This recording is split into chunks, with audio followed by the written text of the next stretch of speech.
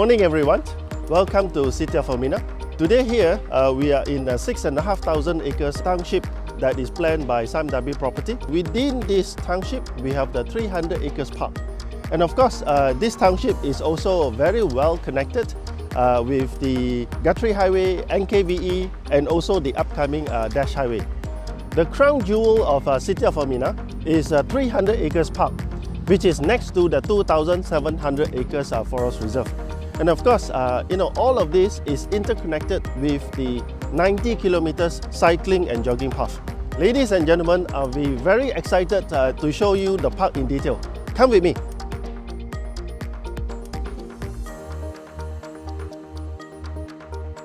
This township here is originally an oil palm estate and we can see that uh, you know the whole park here is maintained its uh, topography and also its river system from the uh, plantation itself. Now, what we are going to do is that, uh, you know, for this river here, we are going to turn this into a haven of biodiversity and into a wetlands habitat.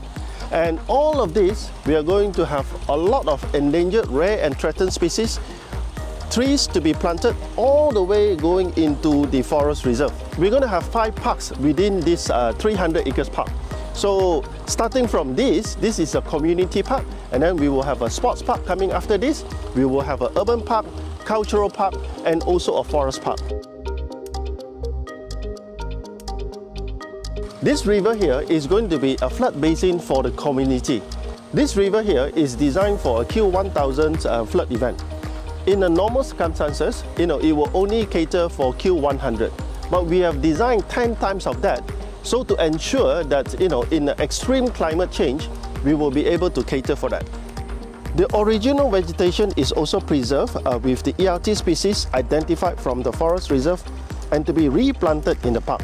The park is also been designed so that it's a self-sustaining landscape with minimal maintenance in mind. We are now at the community park, one of the parks in city of Elmina Central Park. This is the first of the five themed parks to be completed here. Measuring 36 acres in size, this park has been open to the public since 2018. This park has been well loved by the residents here and the general public for their daily recreational needs. We have also held huge events in this park. Uh, for example, at the amphitheatre, we have held the uh, huge concert the year before MCO was declared, as well as uh, around the world at Elmina Central Park, which was a huge success and well received by the residents and public. We are very happy that uh, this park has been designed for the well-being and recreational use of the residents as well as for events, carnivals and bazaars. And we are very very glad to see that this park has been well loved and received by the residents and public as we see it. Biodiversity is a huge agenda in the city of Elmina's Central Parks. Here we try our best to assure that all biodiversity elements are preserved as much as possible. Elmina Central Park is home to various forms of wildlife from vibrant insects such as butterflies, dragonflies, etc. to exotic birds. Uh, we do have egrets, uh, spotted swans, storks, which comes to our central park and to a family of otters. We have now actually uh, identified seven in a family of otters which has actually made their home in our park and we are now preserving that area with a certain NGO to preserve these otters and, and ensure that they are happily at the Central Park. We have also planted all the trees here which we have actually brought about from the forest reserve just next to the boundary of our township to the central parks here. We have planted numerous types of endangered trees, rare species in, and, and we have uh, introduced them to our park to ensure that biodiversity of this area is preserved for the generations to come. The success of the Central Park at Elmina is partly also due to our collaboration with the numerous NGOs who is present in Malaysia. For example, the Tropical Rainforest Conservation and Research Centre, the RCRC, where they are helping us to uh, bring about all those uh, forest species, uh, ERTs and, and so on to our park for planting at our Central Park. Uh, our collaboration with uh, Wetlands International to bring about a wetlands uh, design and guideline, not only for Elmina Central Park, but for the nation as a whole. And also uh, our collaboration with UNICEF, where we have uh, actually created the first and the only uh, inclusive playground in Malaysia. This inclusive playground is where the disabled and a normal child can play together and ensure their growth is as uh, what is uh, needed. All right. Even though nutrition, education, and healthcare is important, we in Elmina also emphasize on play as part of an important criteria for a well and good uh, upbringing and growth of a child. Hi, we are currently in uh, the first inclusive playground in Malaysia with the collaboration Samdabi Property and the UNICEF. This inclusive playground was designed to accommodate and challenge kids with and without disabilities. The 0.5 acres of play area consists of accessible play structure with 37 components and also 12 loose items. Aside to that, we have introduced different uh, type of materials and finishes which include the natural elements such as timber, rocks and boulders. This combination of man-made and also the natural elements actually uh, can create unique play features for the kids. The decorative lighting was designed with dual function, not just to create fun mode at night, but also being a nice sculpture in the daytime. All these elements purposely created to give children more items of interest to look at, play with and learn from. In terms of soft landscape work, all the plants, trees were specifically chosen with different texture, colors and fragrance to provide additional sensory stimulation.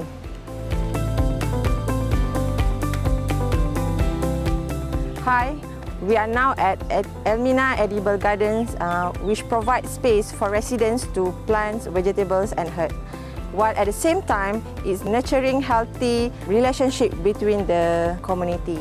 The total allotment here is about 10% of the total unit in Elmina Valley 1, 2 and 3, which consists about 103 vegetation plot with different sizes and also the herbaceous plot for about 20 numbers.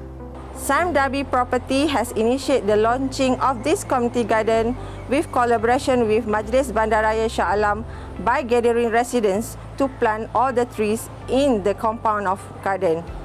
This is to increase a sense of community ownership towards the garden. We can see the good move when the community had formed association named Elmina Valley Farm, which are very active now. They have even organized composting activities within them. This is positive achievement in social benefit in Elmina. Hi everyone. Do you know that the city of Elmina is next to a 2,700 acres of forest reserve? And this forest reserve is the home of rare, threatened and endangered forestry species. So Sime Darby Property is taking this initiative to bring those species to be planted in our Central Park. And by doing so, we will be enriching our Central Park's biodiversity of flora and also fauna. The first step to achieving this goal is creating the Elmina Rainforest Knowledge Center, which you can see at the back here, which is completed last year. And this knowledge center will be operated by TRCRC, which is an NGO that is expert in forestry species. And this knowledge center will also be a venue to host educational events to create awareness to the public on all the sustainability initiatives that Sime Darby Property will do in the future. So this is the Elmina Living Collection Nursery, which is next to the Knowledge Center. And this nursery is 2.5 acres and it holds 24 plots of seed beds. So this is where the LCRC will germinate the seeds of the forestry species. And when it reaches a certain size, the trees will be relocated in nursery B that you can see at the back here. And once it reaches 1.5 meters in height, that is where Sime Darby Property will transplant these trees into our central park. Do you know that the city of Elmina is designed to have a 90 kilometer cycling and jogging track? This is to encourage our users to have a healthy lifestyle. And the, the jogging and cycling track is designed to connect the green spaces throughout the whole township. But on top of that, we also want to ensure the safety of our users. So that is why the cyclist and jogging track is designed to have dedicated lanes for cyclists and also for the joggers. So the 90 kilometer cycling and jogging track in the city of Elmina is also designed along the streets, including the main roads. So this can be quite dangerous. So Sime Darby Property has taken this initiative to implement the crime prevention through environmental design. So what does that mean? It means that the jogging and cycling track is designed to be further away from the vehicular lanes. And in between the vehicular lanes and the jogging tracks, we have proposed the swale drains instead of the conventional U-drain. So this creates the perception of safety and this is important for our users. Besides emphasizing on the sustainable landscape designs and environmental wellness, the city of Elmina also focuses on resilient designs that is gelled with the current trend. Today is the era of social media, where the millennials love to take Insta-worthy pictures and videos to post on the internet. The city of Elmina has unique iconic features such as the iconic bridge that has unique facade design that was inspired from the leaves of the oil palm tree and painted with the signature orange of the oil palm seed. The rainbow bridge that has bright and colorful colors that stimulate positive emotions. The Elmina Horizon deck that is also painted with the orange of the oil palm seed. The Hollywood signage is also designed to be part of the placemaking elements for families to come and take photos. Currently, the city of Elmina is already a hotspot for local dramas and also wedding photo shoots. In summary, here at Sime Darby Property and especially the team at uh, City of Elmina, we are committed to deliver a sustainable community. We know that we've been given a very privileged position whereby we are given the opportunity and also the responsibility to create a sustainable community. And this is how life should be.